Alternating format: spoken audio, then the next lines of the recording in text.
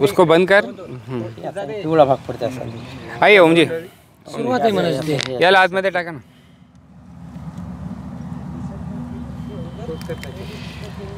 आइए ओम जी, इधर आइए। येते डाक डाक पडा नाही अमिताभ जी एक मिनट। हम अभी उबदिया गाँव में हैं और ऐसे खेत में जहाँ पे सोइंग आठ से दस जून के बीच में हुई है। तो, तो कॉटन गुरु के साथ में यहाँ पे पूरी टीम है ओम जी दालिया हैं जो यहाँ के सबसे बड़े जिनर हैं अमृतराव जी देशमुख हैं और बहुत सारे फार्मर हैं। अब इस खेत में हमने देखा कि जो कॉटन बॉल्स है उसके ऊपर कुछ भी चिन्ह नहीं है कुछ भी साइन नहीं है कोई भी होल नहीं है। उस बॉल को ऐसे ही हमने प्लांट से निकाला और उसको खोला। उसको खोलने के बाद कुछ अजीब हमें दिखा। इसके अंदर बॉलवम है। तो ये पिंक बॉलवम हुआ है। उसने अंदर से खाना शुरू किया है। पीलापन होना शुरू हो गया है। सड़ना शुरू हो गया है। लेकिन बॉल के बाहर कोई भी होल नहीं है।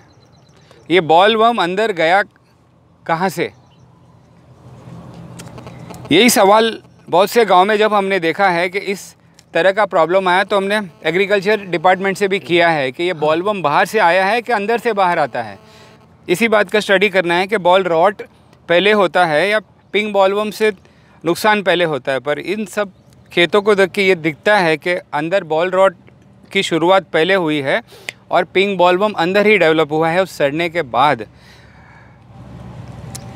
काय म्हणताय अमृतरावजी काय म्हणणे तुमचं आता हे? तर गुलाबी बोंदडी निघाली याच्यामधून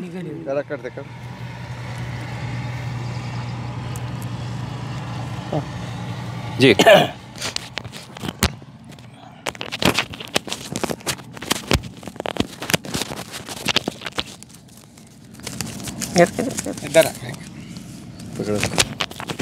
शॉर्टकट सांगतो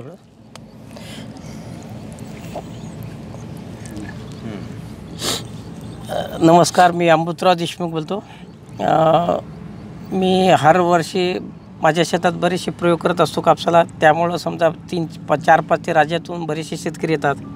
आणि मी बरेचशा बारीक बारीक गोष्टीचा खूप अभ्यास केलेला असता आहे. आणि गेले दोन वर्षापासून मी गव्हर्मेंटला जसं की कृषी मंत्री असो आयुक्त असो पालकमंत्री असो किंवा कलेक्टर साहेबाकडे मी बरेचसे निवेदन दिले. कृषी मंत्र्यांना मी सांगितले की तुम्ही जे हा रोग म्हणता गुलाबी बोंडाळी गुलाबी बोंडाळी हा नाहीच. कारण आपण काय करालो की पाय आपला मोडला डावा आणि बांधणं चालू आहे उजवा या प्रकारचं. आणि त्यांना सांगितलं की मी आपलं या विषयावर चर्चा घडू आपण असं कुठंही झालं नाही. आणि मग आता यावर्षी गेल्या वर्षी जे शेतकऱ्यांना पाहत होते ते ते शेवटच्या टेजला पाहत होते. आणि यावर्षी मी गेल्या एका महिन्यापासून बऱ्याचशा भागात फिरत आहो. समजा जसं की उदाहरणार्थ नागपूरला. तिथं आयुक्त पण आलते नागपूरचे सी आय सी आरचे लोक पण आलते. त्या शेतकऱ्याच्या प्लॉटमध्ये जवळपास शंभरपैकी बोंड सोड फोडले असल्यावर साठ ते सत्तर बोंडामध्ये हा बोंड सडन दिसली होती त्यावेळेस आणि आळी कुठंच नाही दिसली. तेलंगणामध्ये तोच प्रकार होता. एम पीमध्ये मी चार राज्याचा दौरा केलेला आहे आणि चारही राज्यात हे बोंड सडलेले दिसले पश्चिम महाराष्ट्र कोणाचं आणि आठ दिवसात काय झाले की आता ही जी बोंड आहे समजा हे सुरुवातीला बोंड सडलेला आहे. आणि सडल्यानंतर ही आळी आलेली आहे अशी. ही आळी येते आणि आपण हिला म्हणतो गुलाबी बोंडाळी. यानं नुकसान खूप करतो म्हणतो ना. आणि अधुकर महत्त्वाचा रोग आहे सडन रोग आहे. आणि आम्ही बरेच वेळापासून सांगतो पण ते मानाय तयार नाहीत कृषी अधिकारी किंवा बाकीचे शास्त्रज्ञ किंवा शासन. आणि म्हणून शेतकऱ्याने एक संघटित होणं महत्त्वाचं आहे. आणि आमचं काय म्हणणं नाही केलं तुम्ही शंभर नाव द्या आम्हाला देणं घेणं नाही पाहिजे. आम्हाला फक्त या रोगावरचं निदान पाहिजे. या रोगावरचं जर औषध जर काढला तर आम्ही शेतकरी व सर्व स- याच्यावर जे काय शेतीवर आधारित जे काही लोक आहेत त्याचं सर्व खूप मोठ्या प्रमाणात नुकसान होईल एवढं सांगू इच्छितो.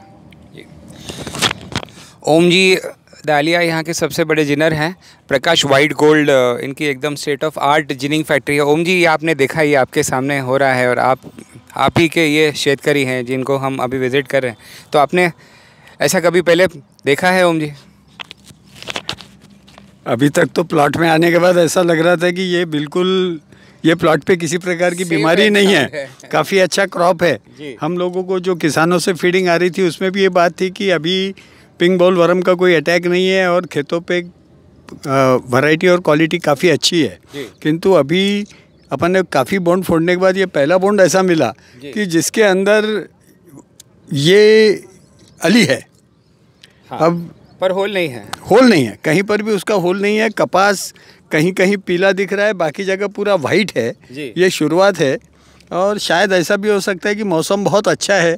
इसकी वजह से बीमारी कम फैल रही होगी। जी। अगर यही बारिश वारिश का मौसम रहता था तो पूरा अटैक दिखता था ऐसा लगता है। मतलब दस में तो अब बॉन्ड में निकला है। अमृत राव जी के रहने के बाद में हमारा इस पे कुछ भी बोलना उचित नहीं है। नहीं नहीं नहीं मतलब अमृत राव जी आपने ये पहली बार देखा है ये पहली तो बार देखा है। कि इस तरीके से पिछले साल जीनिंग में हम लोगों के पास जो कपास आया था उसमें हम लोगों को अलिया दिख रही थी। हाँ। मगर ये इतना अच्छा बोंड है काफ़ी वेट का बोंड है। इसमें तो ऐसा लगता ही नहीं है कि। हली ये बोंड है इसमें तो लगता ही नहीं कि इस प्रकार की कोई हली होंगी। हम्म। मगर इसमें आँखों से दिख रही है कि एक जगह से ये सड़ रहा है और वहाँ पे हली चल रही है। जी।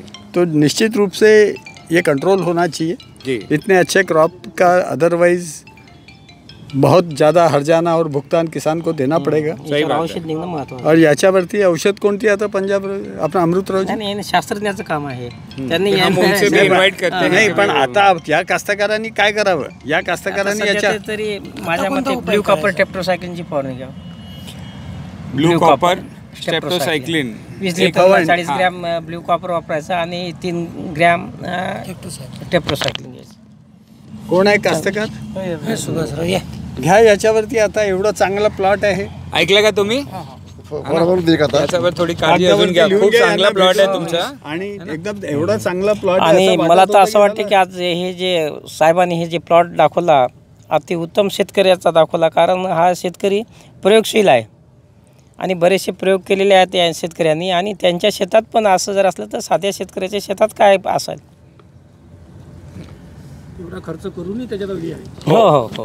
म्हणजे आता या मध्ये अळी आहे असं असं म्हणजे आपण नाही. वाटतच नाही. अळी नाही, दिसत नाही. नाही. आपण कळत नाही. हा, कळत नाही. है ना. वाढू शकते. सर, याच्या- वाढू याच्या शकते. वातावरण जर याच्या बरोबर फेवर जर असेल तर हे आठ दिवसात कोणीकडल्या कोणीकडे जाऊ शकते? यही अभी बारिश हुई या फिर क्लाउडी वेदर रहा ना तो इसको स्प्रेड होने में इसको फैलने में ज़्यादा समय नहीं लगेगा। म्हणजे आठ दिवसात प्लॉट बिघडून जाईल जर वातावरण वातावरण. नाहीतर निभू बी शकते असं काही नाही. हो. आहे की नाही? रहते? तो ओवरऑल आज के तारीख में ये प्लॉट काफ़ी अच्छा है बहुत कम प्रमाण है पर इसको यहीं पे चेक हो जाना चाहिए। यहीं पे याच्यात शुरुआत सुरुवात आहे